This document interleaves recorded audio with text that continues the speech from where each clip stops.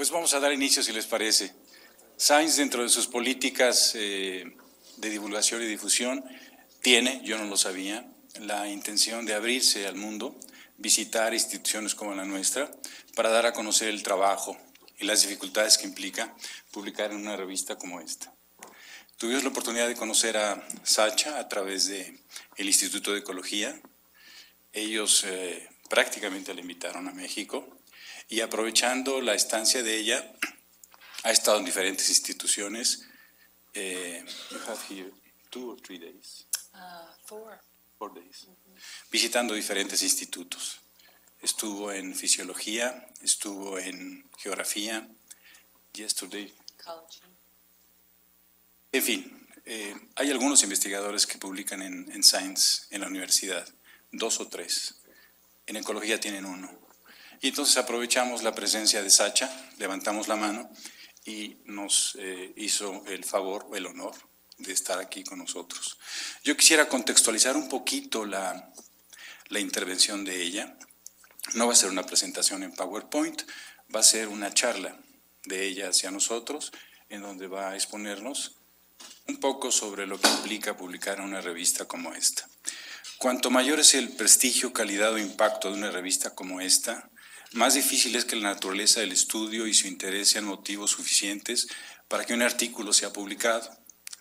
Revistas de gran, prestigio como Nature o Science declinan un elevadísimo porcentaje de los manuscritos que reciben. Típicamente más del 95% de ellos son rechazados. Esto implica que muchos de los trabajos rechazados en estas revistas contengan ciencia sólida y resultados de interés general. Sin embargo, pues no son aceptados. En realidad, el motivo principal de rechazo para muchos artículos tiene que ver con la limitación de espacio. Eso es algo que nos va a comentar ella. Science tiene casi 130 años de publicarse.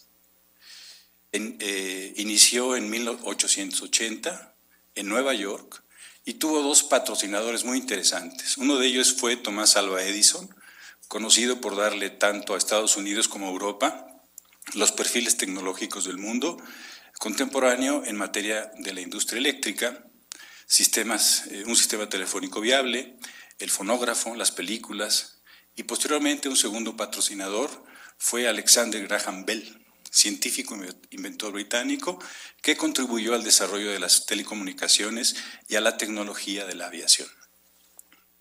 Science es la revista científica y órgano de expresión de la Asociación Estadounidense para el Avance de la Ciencia desde 1994. Si ustedes ven en el cartel del lado derecho, el logotipo de Science tiene tres As y una S, y esas eh, explican que es la Asociación Estadounidense para el Avance de la Ciencia. Desde 1994 así se pronuncia, American Association for the Advancement of Science. Esta organización, que promueve la cooperación entre los científicos, defiende la libertad científica, fomenta la responsabilidad científica y apoya la educación científica para beneficio de toda la humanidad. La AAAS incluye a más de 250 instituciones y academias de ciencia que atienden a más de 10 millones de miembros y representa la mayor federación de sociedades científicas y de ingeniería en el mundo. El objetivo central de Science es la publicación de hallazgos de investigación reciente. Ellos lo llaman origen primario. Science es también conocida por sus Science Related News, noticias relacionadas con la ciencia, que es una publicación sobre política científica y otros asuntos relacionados con la ciencia y la tecnología. Cubre un amplio rango de disciplinas científicas, pero tiene especial interés en las ciencias de la vida. Ella nos va a platicar un poco de cuál es su especialidad como editor senior dentro de Science.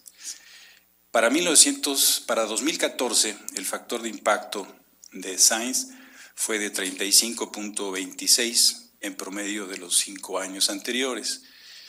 En 2007, esta revista fue galardonada con el, príncipe, con el Premio Príncipe de Asturias de Comunicación y Humanidades junto con la otra revista Nature. Nuestra invitada, Sacha Viñeri, desarrolló el amor por la naturaleza desde su infancia cerca de las montañas rocallosas o montañas rocosas como se les entiende, persiguiendo insectos y explorando con sus perros. La llevó a interesarse en el comportamiento animal que siguió durante sus años de estudio en la Universidad de Berkeley. El deseo de tener un conocimiento más experimental la condujo a un posgrado en este tema sobre una variedad de especies como son los murciélagos de la fruta en Samoa, los lobos marinos en el Ártico. Durante este tiempo se interesó por las interacciones ecológicas entre los individuos y entre los individuos y su entorno. Esto la llevó a su doctorado en zoología en la Universidad de Washington, donde recibió una beca de la EPA, Environmental Protection Agency, su interés en comprender mejor el papel de la selección en la interacción con el medio la llevó a dirigir su, investigación postdoctoral con una beca presidencial en, la Universidad de California en San, Diego y una beca Elizabeth Cary Agassiz en Harvard. Cuando constata ella que la valoración de la naturaleza y las ciencias naturales disminuían rápidamente, la llevó a buscar la manera de llegar tanto a la comunidad científica como al público en general, y es así como Sacha es ahora un editor senior de la revista Science. A menudo Sacha se pierde persiguiendo especies como los ratones, pero ella dice, la mayor parte del tiempo vale la pena el sacrificio para aumentar la capacidad de visibilidad del trabajo realizado sobre los sistemas naturales. Abriendo la caja negra, la perspectiva de un editor en la publicación científica es el tema de la exposición de Sacha, para quien solicito le demos una cordial bienvenida. Welcome to our Not every day we have a senior editor of a journal prestigious as science. Sacha Vinieri, it's an honor to have you here in the Engineering Institute. Would you like to start your talk? Thank you very much. Thank you. So, muchas gracias for having me. It's very nice to be here and nice to have a chance to talk with you all. We uh, discussed a little bit the style of talk that would be best uh, for our time, and so we decided probably not for me to just stand up and give a PowerPoint talk, but instead to just give you a little background and then just open for questions and discussion. I find that that often is the most rewarding and productive time to spend with people. So just a little background on science. Um, as you probably know, and we just heard, um, science is a large, high impact factor general science journal, and what that means is that we publish across all of the sciences, so physics, chemistry, biology, all of the components of biology, and we publish about 800 papers a year, but we receive about 13,000 submissions a year. So we have only about a 5% acceptance rate. And so this is why it is very difficult to publish in science in general. Um, it is very competitive no matter what we do.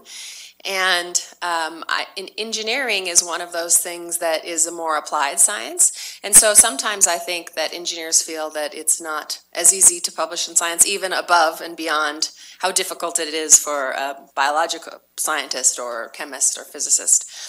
And so the first thing I want to say is that there is a new journal called Science Advances. I don't know how if any of you have heard of it. It's uh, the new open access journal that AAAS is publishing. And one of the goals of Science Advances is to be able to publish more broadly. And I know they have discussed engineering as something that they would like to see more of and be able to publish more of. So to be able to publish more things that are applied. So hopefully that will give you all some more opportunities to publish within a science journal. Um, so in terms of publishing engineering, one of the things that we see when it is published is that it typically, so one of the things about science in general is that what, what we're looking for is a, a study or research that represents a large conceptual advance. So we want work that really pushes a field forward. So there's many, many, many papers that are excellent and exciting and important and novel, and we don't have room to publish them all. And so what we're trying to find are those papers that really move a field into its next phase, maybe change the way people think. And so when you think about engineering, your field, which you all know much, much better than I do, um, you, I guess you have to think about when would it be the case where a scientific uh, idea or component would be involved enough to push something forward. Um, so sometimes we have robotics papers that might represent a kind of engineering. So we see less um, papers on civil engineering and those kinds of things in science, but it doesn't mean they couldn't ever appear there. It just depends on how large is the science is the science component. Are you addressing scientific questions? And we see this, it's not just an issue for fields like engineering, also in conservation, where which I handle quite a bit of. We also have the the challenge of sometimes a study might be very important in that it conserves a particular species, but the science itself is not a big advance, and those papers we also aren't able to pursue. So it's challenging with these more applied fields. Um, but we are definitely open to things and, um, and hope that you will continue to think about how your work might ever fit. Um, and I guess with that, I'm, I'm happy to start any questions. I can talk more about the process, or um, if we can discuss whatever you all would like. Any other, any questions? Um, Feel free to ask me anything. I know people often are nervous, they're shy, they don't want to say a negative thing. But believe me, I everywhere I go, I hear very many negative opinions. Lots of people have complaints about science, and I and I that's part of the reason we come and do these visits is so we can help people express themselves and understand. Hi, uh, thank you for visiting us today. Yeah. Um, as uh, you are one of the most prestigious uh, journals in, in the world, uh, also famous uh, out of the scientific community, uh, scientific community as Nature or some other journals. In, um, have you planned or have you think about how to try to um, use the new technologies, the new diffusion technologies through the internet, through the social nets, and to these things in order to um, enhance uh, the significance of the uh, significance uh, and the importance of uh, the scientific development uh, through the younger ones, through the young communities.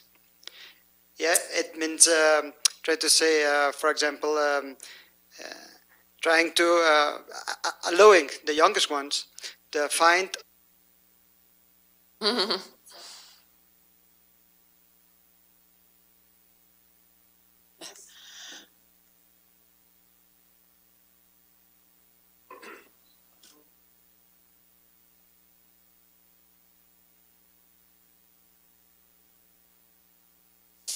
Thank you.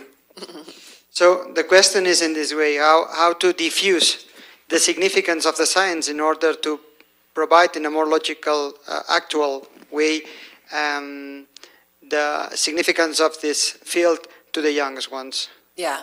So when you say youngest ones, you mean sort of young professionals. So no, no, or children. Yeah, children. Okay.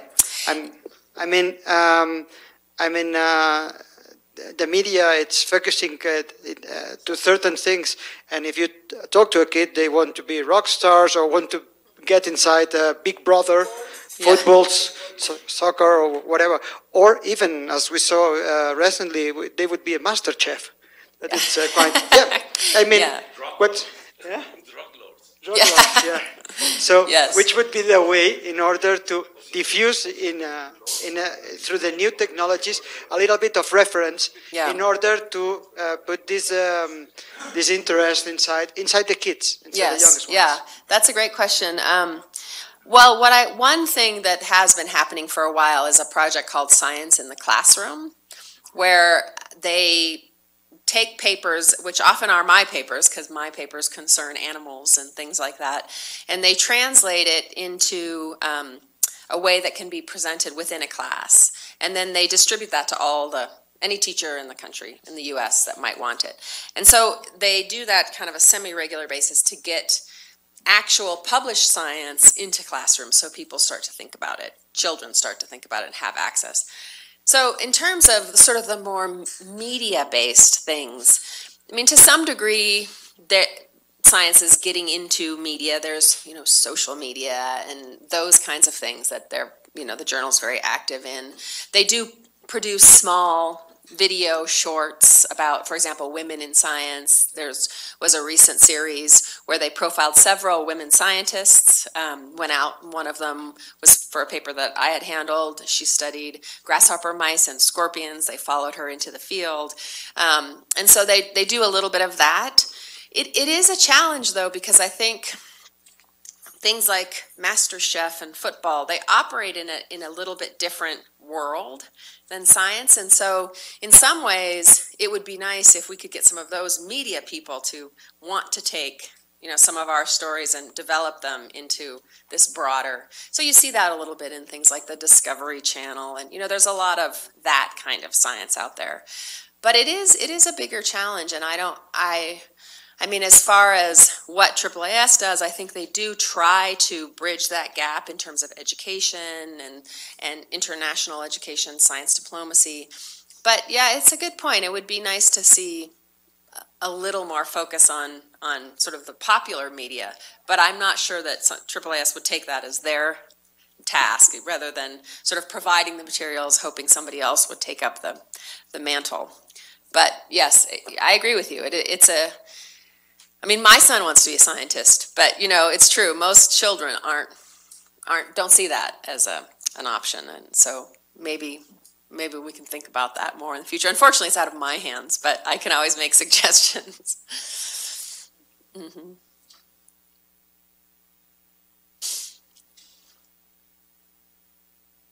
Well, thank you very much.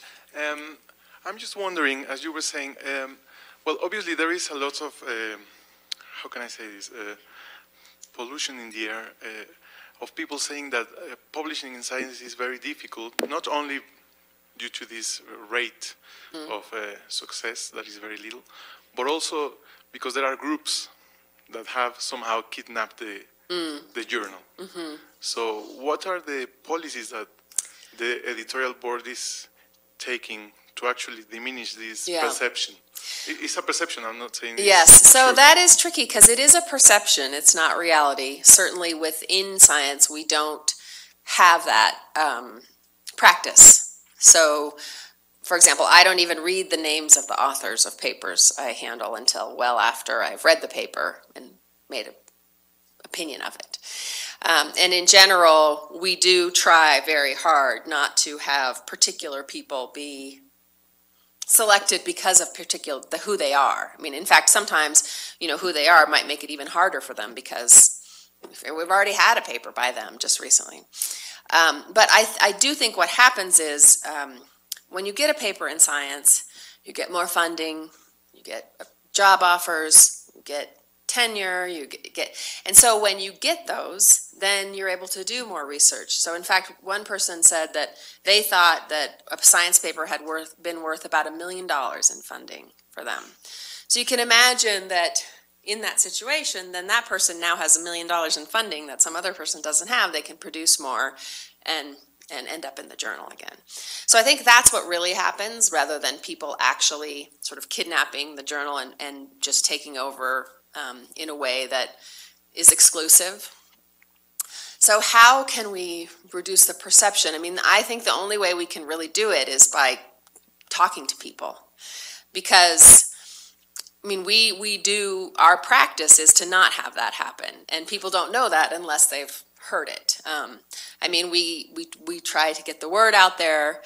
But the problem is, there's always going to be a feeling of frustration among authors because almost everybody gets published from science all the time. I mean, not published, rejected. So it's so and everybody feels bad about that. So there's and there's a lot of and when you feel bad and you've been rejected, there's a, a need to to have a reason. And so the reason is because only 5% of people ever get accepted but there's also a, a, personalized feeling about it. People take it personally, or they feel that oh, it's because these other groups publish there only, and and those things aren't real, but that's what you feel, right?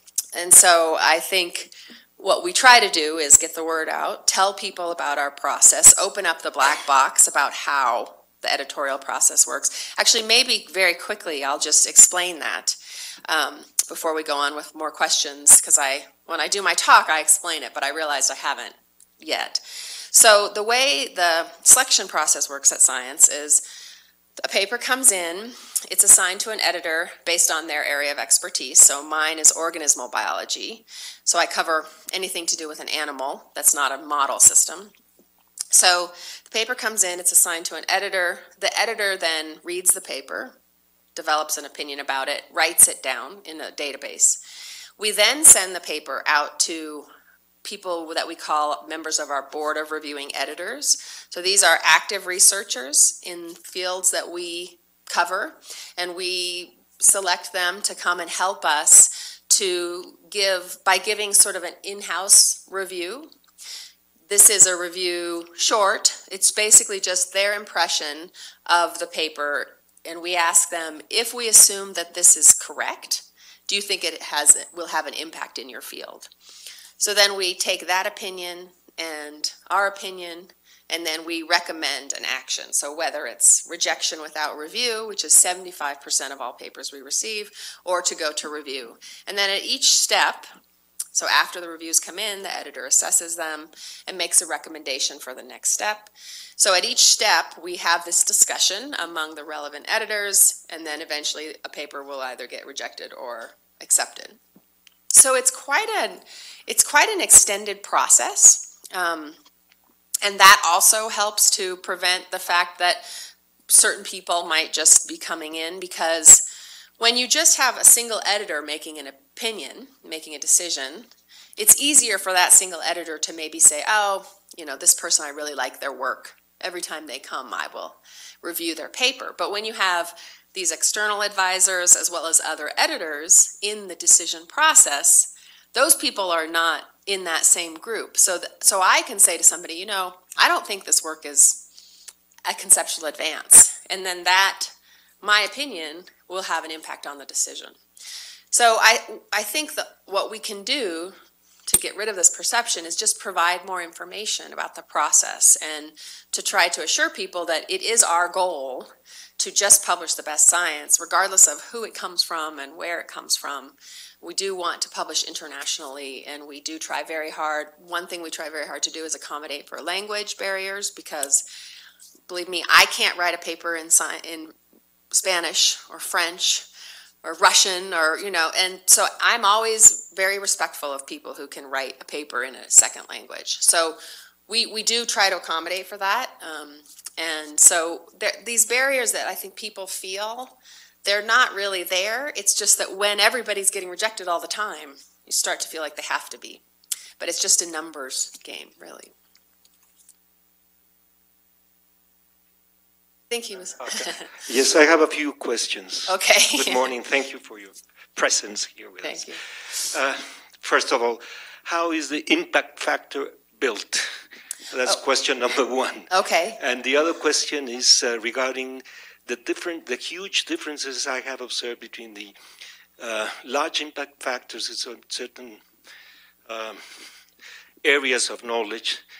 You just mentioned science, biology, maybe in, uh, uh, biological sciences in general, physics, astronomy, etc., as opposed to the very low, very small low impact factors that we get in certain areas as ours, specifically engineering, civil engineering, etc., where if you get an impact factor larger than, say, 0.5, that's huge for some persons. Yeah. That's the second question. And the third question is whether the impact factor is an actual fair parameter in order to evaluate the careers of academics. Okay, I think I will, mean, you might not have to remind me of the three questions, um, but I'll try to remember. Okay, so the first question, how impact factor is built. So I have to tell you that I don't care that much about impact factor. Um, and my field within biology is actually a relatively low impact field. And impact factor is largely driven by the size of a field. So how many researchers work in your field? So in immunology, one of our highest impact fields, there's hundreds of thousands of researchers. And so you publish a paper and they all work on kind of the same things. So you publish a paper and it gets highly cited. Same thing in physics. And um, so it's it's not a reflection of the value of the work. It's a reflection of the size of the field. So in my field, ecology, evolution, you know, if you get um, you know, if you in a year, if you have a paper that gets 25 citations, that's big deal. Um, so it, it's really field dependent. And so, in fact, it's not something that science, I mean, certainly there are people within the journal who care. But the editors understand that it is not something that we should be making decisions about publication on in particular. And so particularly for AAAS and science, where the mission is to publish papers across all scientific fields, the fact that, say, my field is much lower impact than immunology doesn't mean that we won't publish any papers in my field. So it is, it's something that is unfortunately part of publishing, but for us, it's not something that drives big decisions about coverage. Um, so now how it's constructed, I believe it's sort of the average um, number of citations per paper per. It's not. It's not just per year. It's it's some construct that's actually kind of complicated and I think a little bit excessive. um, and so um, it really has to do with like how many citations do you get per number of papers and number of pages even. So that's kind of roughly a translation. Um, Just one comment. So, so I would like to stress the fact that you just mentioned that it's the size of the field. Okay. Yes, yeah. So, so, and so because we know this is true, um, we do recognize, and I think I would say that probably all of science really recognizes that impact factor is not necessarily the best way to be assessing things. And there are alternative approaches. Um, I don't know if how many of you have heard of this alt altmetric score, which is basically a way to measure kind of the excitement that a paper generates, both in terms of how many times it's cited, how many times it's discussed on the internet, on social media. So we look at those now. Um, so we are trying to you know, think outside the box in terms of how how to evaluate our own papers without just depending on impact factor because as you said it doesn't really reflect anything other than how, how many people can cite a paper and so for that reason to answer your last question i don't think it's a good way to evaluate researchers and I think it's very unfortunate that the, one of the main things that's happened in the scientific community is that science and nature papers have become sort of the way to decide if somebody should get a job or be promoted or get tenure. And I don't think that's right. Um, and un- unfortunately, there's there's only so much that I mean the journal can't really do anything about it. It's the, community that has to do something about it. But it's a bit of a catch twenty two because the community is stuck within a system where there's a lot of researchers. So I was on a faculty search committee when I was a graduate student and we had 600 applicants. So how do you read all the papers and assess the quality of the body of work for 600 people? So it's a it's really hard and I I when I travel I get this question every time I talk to people and so the good news I think is that people are thinking about it a lot and occasionally I'll hear of a department where they've decided not to count those higher than other publications. So I, I do think there's a little bit of a change coming, uh, but I, I don't think it's that fast. And I agree with you that it, it's not the right way to do it. But I appreciate your comments. Thank you so much.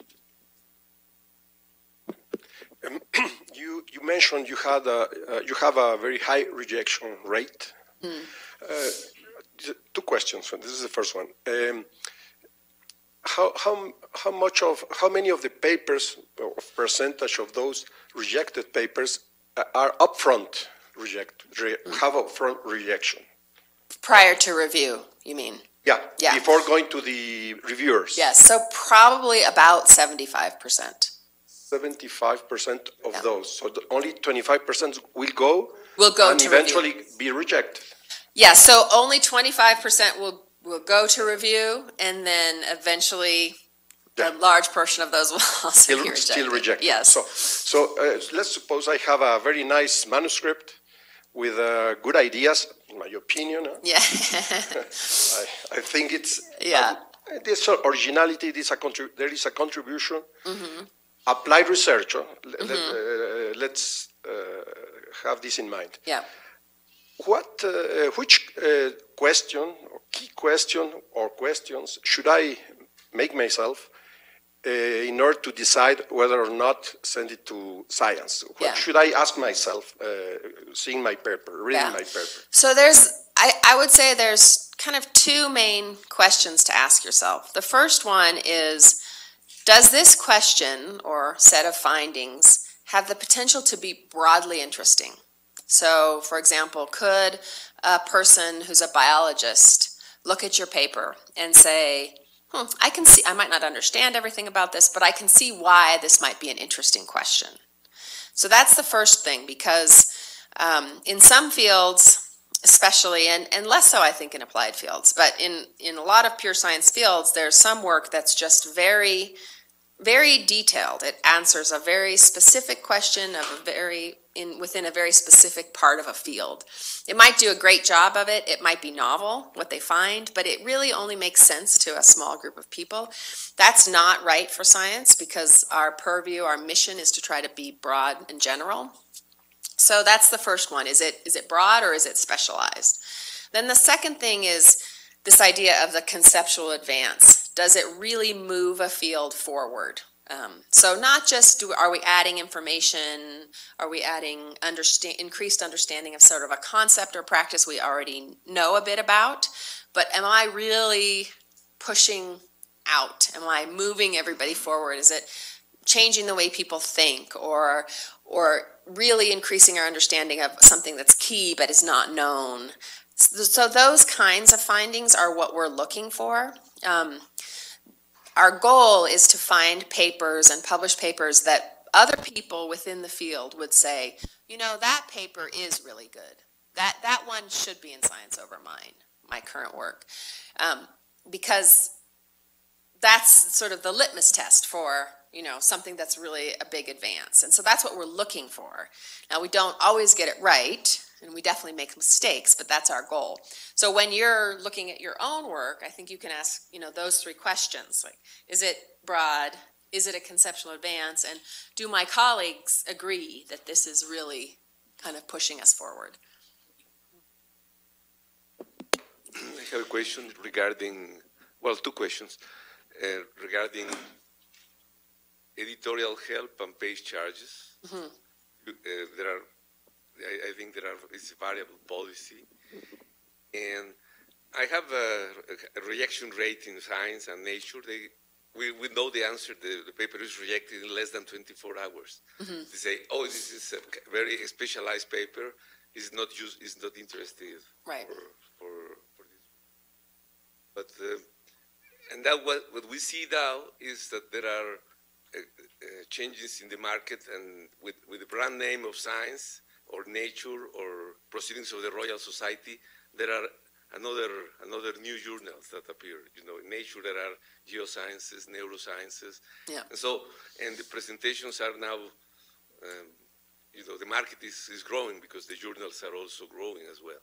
Mm. So regarding the pay charges and what about uh, if people ask for your help for, you know, there are several papers supporting an idea, and the idea is to communicate to broad audience. Do you have a kind of specialized team to support, uh, to make a project, to say, to make a report, to make a letter, to make a news? So there are a lot of perspectives, perspectives that are uh, interesting papers that give a broad uh, idea of the, of the things. And sometimes perspectives come along with an important research paper or news. There are, uh, I think, to, to reach the technology market, maybe is when, when some idea is uh, supported by several papers in other specialized journals, maybe there will be some uh, bulk of idea that may be distributed or maybe diffused among people. yeah So okay. that's uh, you know, the question is just general. Yeah. So is, with regards to your first question, page charges, so open access journals charge a lot to publish in. Um, science is not open access, except that it is open access after one year. So after one year, all science papers are open access and free to access. But because um, we're not open access in the beginning, the charges are actually very small. Um, there's charge for color, and the charge for pages is small to none. Um, but there is assistance, so you know if you can make a case for not being able to pay the color charges, for example, they're pretty good about waiving those. So it actually costs very little to publish in science, um, which is probably good because the idea is to give a venue to work that's really pushing things forward, and so we're excited to have that work. So therefore, you know, it kind of makes sense that we're not charging people a lot for it. Um, you know, in open access journals, you do have to pay a lot, and Science Advances is an open access journal, so they are having charges, um, but they are pretty good as far as I've been able to see about waiving them. Um, the second question, which I think you're asking about whether there's a forum for sort of writing commentary about work that's maybe kind of around or emerging. So there's two formats. Well, there mostly two, maybe with a third that's kind of like that. The first one is there's reviews. We publish reviews where people can review work that's being done or the state of a field or the current level of knowledge within a particular question. And that allows researchers to sort of comment on where a field is and where it's going. The other one is called a perspective, and that's shorter, but that allows people to write a, a bit more opinion based commentary on work that's being done. Sometimes it's just on a single paper, sometimes it's on sort of a suite of papers that have come out. And then third is a letter, which is really like pure opinion, but very short um, and not peer reviewed. So it kind of depends on what you're trying to comment about. And I'd say for both review and perspective, you can just submit those, but it also can be helpful to contact the editor first and, and just say, these are my, this is an idea, this is an important thing that's happening, and here's what I'd like to say about it. And the, the, ed, the email, email addresses of all the editors are on the science website, and it says what, what we cover. So if you're looking at a, to talk about a review or perspective, you could email the editors that cover reviews and perspectives directly. Um, so there are a few options for for that. Um, you did mention something about getting rejected very quickly from Science and Nature. So science usually takes longer than 24 hours. Typically, at science, it's a few days to two weeks for that first decision. Nature, it can be very quick. In fact, when I was submitting papers to Science and Nature, I remember submitting a paper to Nature, and the guy down the hall submitted a paper to Nature. And I was so excited because it took 24 hours for them to reject mine, but his got rejected like after lunch. You know, he submitted four lines, was rejected.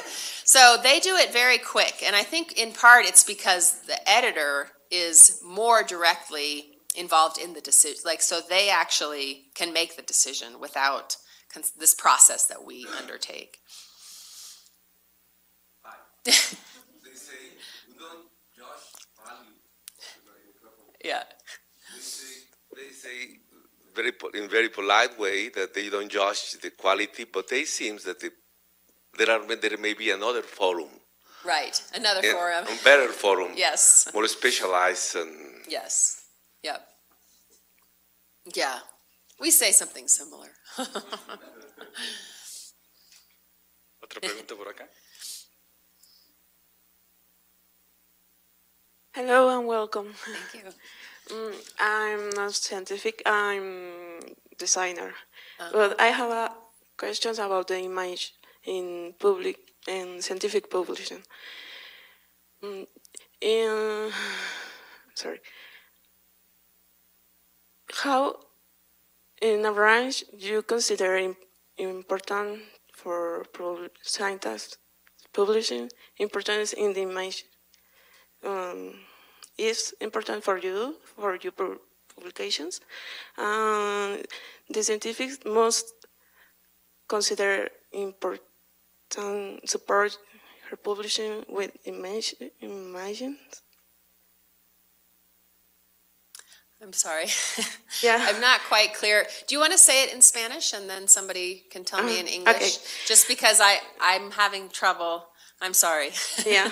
ah, eh, ¿Tú consideras importante que las imágenes científicas en tus publicaciones, qué tan importantes son para, para ustedes? Y si los científicos que quieren publicar deberían tomar la importancia, deberían voltear hacia, hacia las imágenes, porque en- anteriormente no se consideraban importantes, sin embargo, ahora en la era digital cada vez es más necesario el soporte visual en las publicaciones. Yo lo considero así. The image in the publication are very important. So the, the way that it looks, the pictures and presentation, yes, it, it's. See, yes, it's very important. Um, we have an entire section, um, entire department whose job, that's separate from us, whose job is just to produce the image of the journal. Um, and they've recently, in the past few years, completely kind of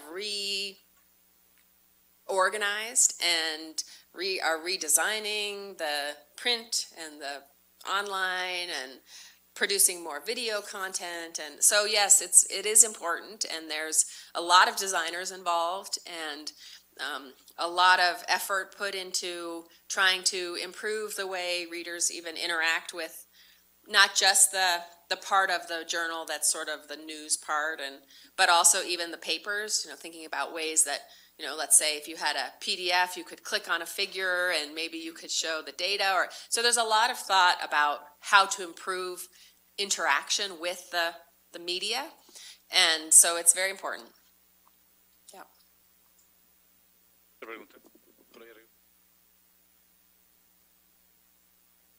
Hello, I'm a PhD student here in the institute. Uh, well, my question is, um, the institute is about engineering, and science is well about science. So uh, you said that there is a for, for publishing on science. Uh, your question should be a very broad question, so many scientists will be interested in your question. The thing is, with engineering, uh, we are solving specialized problems, not big questions. I mean, mm. and of course, we use science. We make the science advance, but we made the science advance by introduction, uh, by the introduction of engineering stuff, like, for example, let's say telephones, or let's say tablets, and of course, that is, it will not be seen as an advance in science, maybe. Right. Not as uh, discovering the, the pollution, a, pollution problem or, or something that sensibilize people. In general, scientists or not. But when someone uses your telephone and says, oh Siri, can you tell me that they actually are not seeing the science behind it. They are just seeing the, the gadget and, oh my God, the engineers are advancing a lot. But they do not see the all the science that is behind, I mean, the, the neural networks, all the math that is needed to, to do that, mm-hmm. they just think in the wires and so. So, as an engineer, how can we know that our work is making a breakthrough in the, in the way people thinks? When tablets came out, everybody was laughing about them. It's like, it's not a computer, it's not a telephone, it's, it's, it's uh, yes, it's horrible. Mm, This will never go on. Now even children are using a, a tablet. So yeah I think in engineering the question is different from in general science or in not applied science. Let's call it like that. Theoretical science. I don't know how to call them. But um, how how open is science to the, the magazine? I mean, the, the journal to to publish engineering work that is not seen as scientific. Yeah. Yeah, I mean, I, I have to say not very often. Um, and I think part of that just has to do with the fact that we're already struggling with, you know, all of science that, you know, so trying to publish everything that, that falls in that class, that category of classic science. And we already are publishing, you know, a five, only 5%. So it's hard to expand out of that into other fields that are not pure science because there's a lot of those too, and we already are disappointing most people. So we, we do try to limit our categories to things that really are making an advance in science. So one thing that we often end up having to reject a lot of, um, even within science, are things that are big methodological advances, which I think in many ways is sort of what you're describing. So how you produce something, and and all these things are incredibly important, right? But the the key there is you're mostly describing sort of the the methods of making something better. And we can't publish those in in other fields either. So you know we might get a paper that's on you know how, how to publish um, or how to improve let's say my field tracking of animals.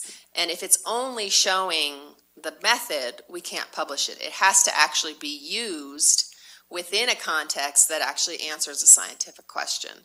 So I think that's a way to think about, you know, when your work might fit into science is when you're using some kind of method that's been developed to answer a particular question that might be scientific. Sometimes it can be um, conservation or health oriented too. So we do, I have seen engineering papers that are more about sort of improving water cleanliness. You know, those kinds of papers will sometimes make it in, I think, because they have um, sort of a direct translation into health or environment.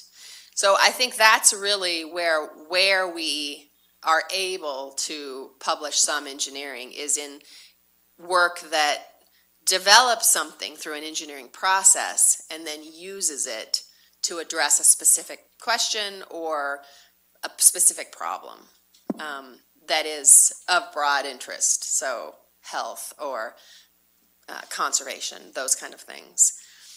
Um, you know, it's unfortunate. It's again, it comes down to this idea that science and nature are the place to publish for everybody, which is ridiculous because we can't publish everything. You know, and science has been around for, you know, 150 years just publishing science. And it's only in the past 60, 70 years, 60 years, that it started to kind of climb as this thing that you're supposed to publish in. And I don't know why that happened. I mean, maybe somebody else might know, but I have no idea. And um, and because that happened, then suddenly it was like everybody's supposed to publish there.